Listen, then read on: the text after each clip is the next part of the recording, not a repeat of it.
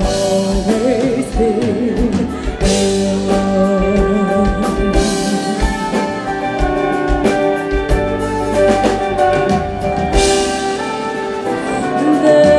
a bridge that's a